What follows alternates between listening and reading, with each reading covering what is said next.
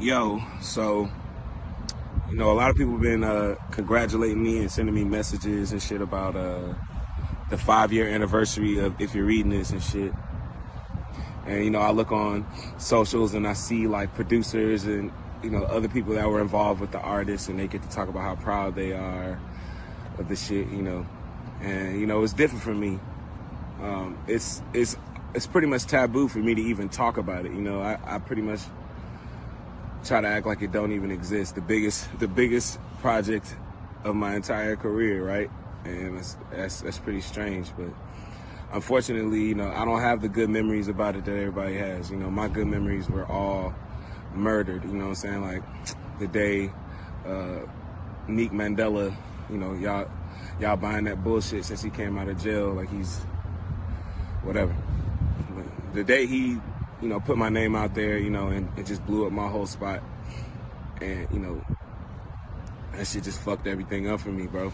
And it's so crazy because, man, it not only did it mess that up, but in the confusion of that shit, you know, I, me and, and DJ Drama and Cannon, like that whole side, we had our ties were severed because of that shit because it was just so much confusion and everybody was trying to find out whose fault was it and this and that. Like y'all just don't know what them phone calls was like. Y'all just don't know what them text messages was like. Like y'all don't know what that pressure was like. It was a lot. It was hot.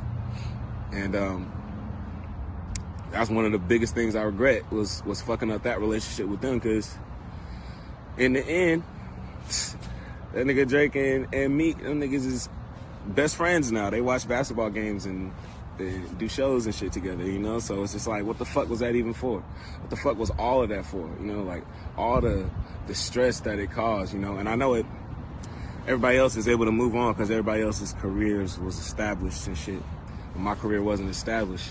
And I was looking at that, if you're reading this moment, you know, at the time when I did it, I'm coming fresh off of, not fresh off, you know, three years ago I was dropped and not for my publishing deal, but I was dropped as an artist and I'm working these these bullshit ass jobs. I'm working Publix, I'm working Target, I'm working factories and warehouses, I'm working, you know, different temp agency gigs.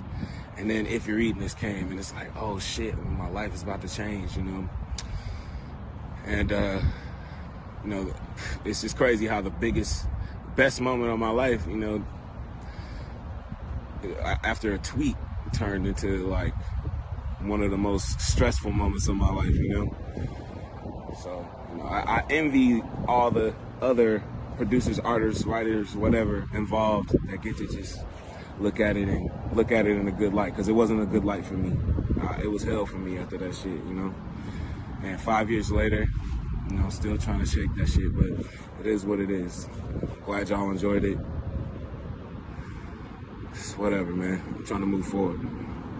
Uh, to the music game, labels, artists, whoever, take a chance on me. Take a chance on Quentin Miller, man.